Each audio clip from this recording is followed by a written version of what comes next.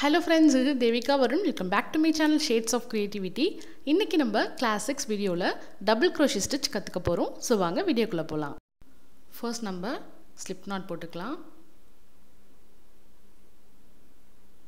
So இந்த மாதிரி slip knot போட்டுக்கோங்க. பேசிக் நாட் தான்.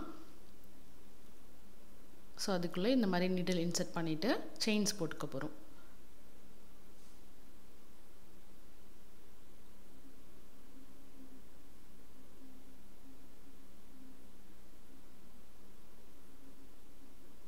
ஸோ செயின்ஸ் போட்டதுக்கப்புறம் நம்ம ஹூக்கில் இருந்து தேர்டு செயினில் தான் டபுள் க்ரோஷி ஸ்டிச் பண்ண போகிறோம் ஒன் டூ த்ரீ ஸோ ஹூக்லேருந்து ஒன் டூ ஸ்கிப் பண்ணிவிட்டு தேர்டு செயின்லேருந்து டபுள் க்ரோஷி ஸ்டிச் பண்ண போகிறோம் ஸோ டபுள் க்ரோஷிக்கு ஹூக்கில் இந்த மாதிரி த்ரெட்டு ஒரு வாட்டி எடுத்துக்கோங்க.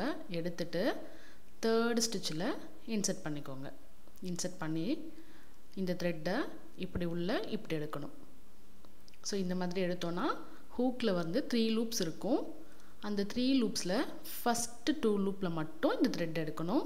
ஸோ அகெயின் பார்த்தீங்கன்னா உங்களுக்கு ரெண்டு லூப் இருக்கும். இந்த ரெண்டு லூப் வழியாக அகெயின் எடுக்கணும்.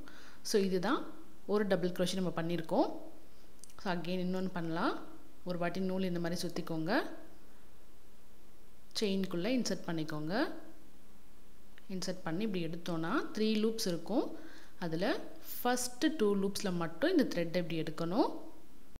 அகெயின் இருக்க ரெண்டு லூப்பில் திருப்பி த்ரெட் எடுக்கணும். ஸோ இதுதான் வந்து double crochet of double crochet நம்ம எப்படி ஸ்டிச் பண்ணுவோமோ அதே மாதிரி தான்.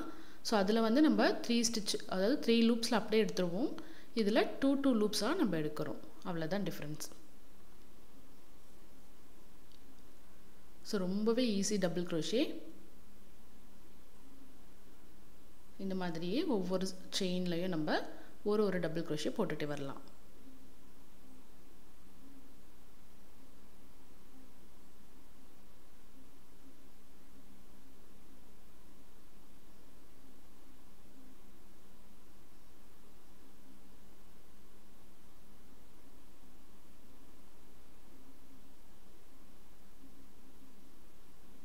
ஸோ அவ்வளோதான் நம்ம டபுள் க்ரோஷி ஸ்டிச் பண்ணி முடிச்சிட்டோம்.